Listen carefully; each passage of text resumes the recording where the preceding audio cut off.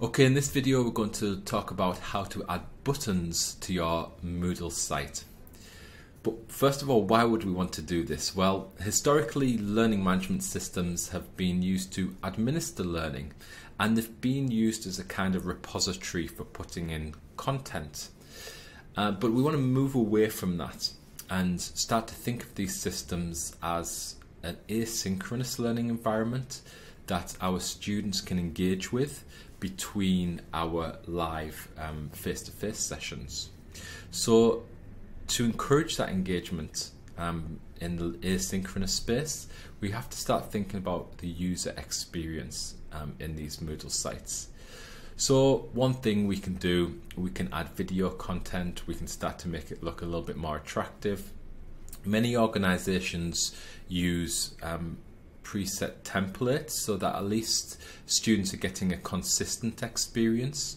Our organization, for example, is using this concertina um, template. But then when you drop a little bit further into this, what you get sometimes is a lot of information that the student has to keep scrolling, scrolling, scrolling through.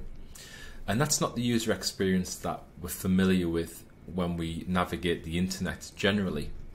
So what we're looking at today is how can we add buttons like this that do a number of things. One, they help the student to navigate the content. They help us to structure our content more effectively. And overall, um, the aim is that they improve the user experience for the learner.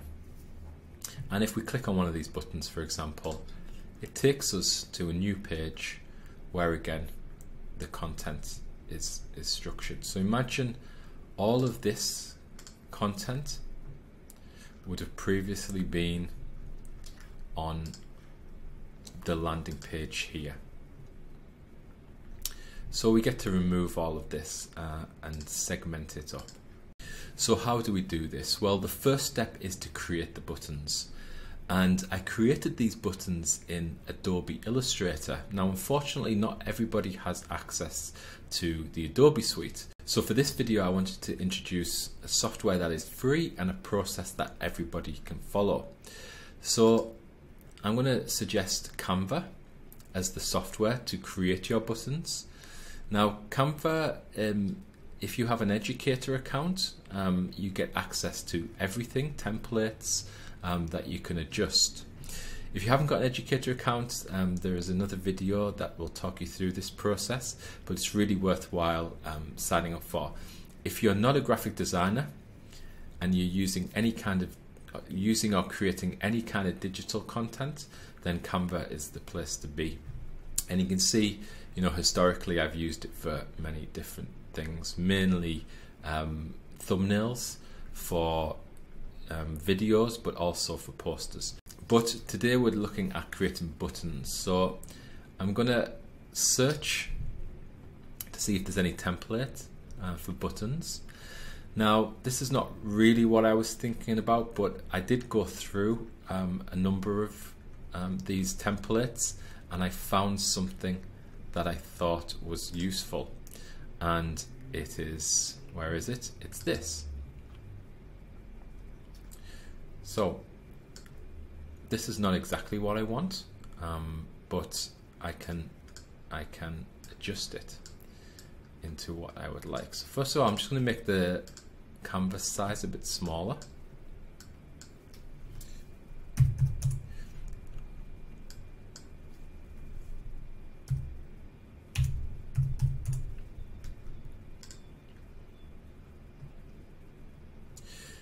Okay, and I can make this image a bit bigger. So how do you want your button as the first consideration? Maybe you just actually want, um, if I lock that, maybe you just want your button this size uh, or maybe you want to have a description here as well um, I think I think for this tutorial I'm just going to go with this small button so that means I delete the background stuff okay so now I've just got this this is my whole button Quite happy with that actually. I'm going to make it fill the canvas size. Okay.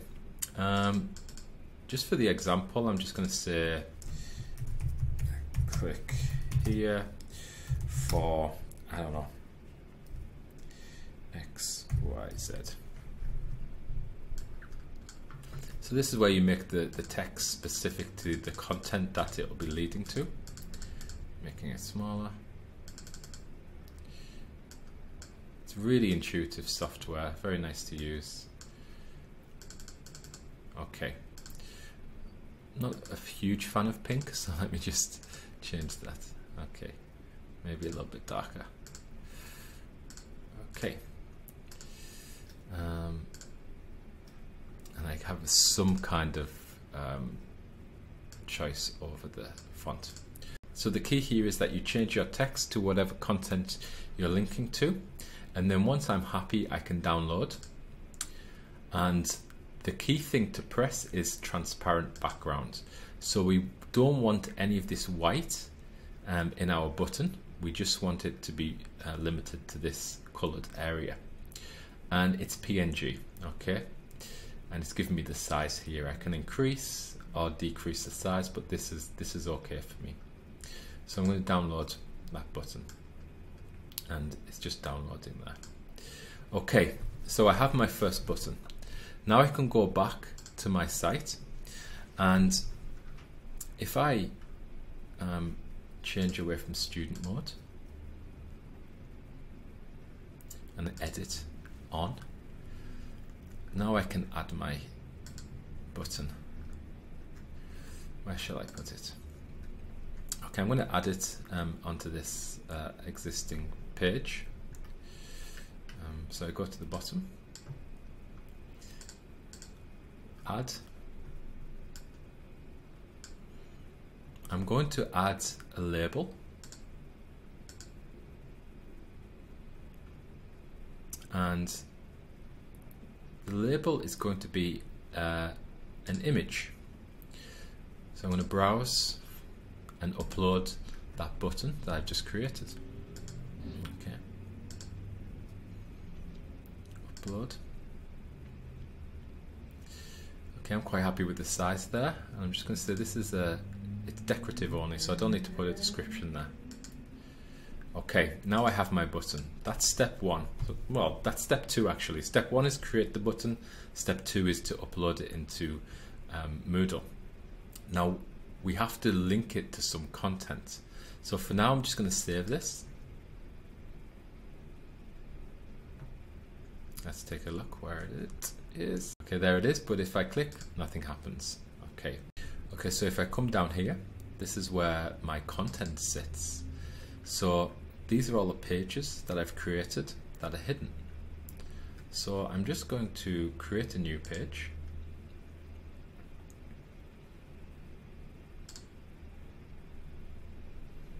I'm going to call it test and, I can put anything in here. We can put videos, we can put um, you know content, we can use the, what's quite useful is if we use the uh, HTML function we can embed Padlets in there. Anyway, everything within this page is a is, is a component of your um, your course. And if I save and return, okay, so I have this test page now. If I click on there, and I want to copy this URL, Control and C.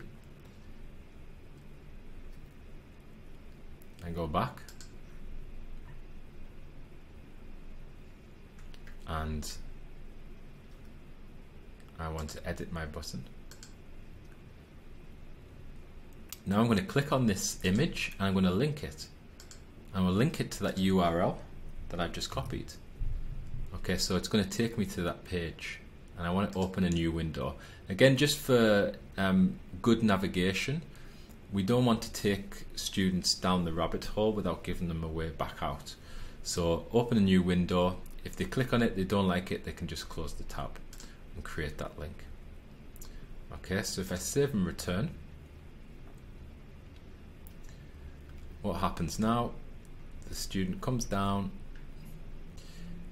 clicks on the button, and it takes them to the page that I intended. Once they finish with that page, they can close it off and come back to the home page. Okay. The only thing that I need to adjust on here is make it not um, visible to students but also available. So I do that by making it available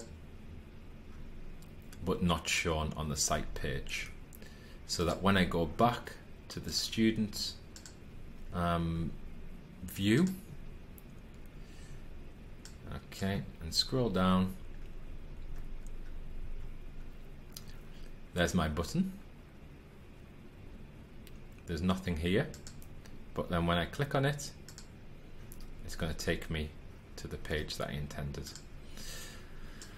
Okay, so it's as straightforward as that. There's a lot of steps in there, but um, it is pretty straightforward once you start creating these buttons, and it does give you an extra an extra layer of depth um, to the content on your course. So I hope this video is useful. Um, thank you very much for watching.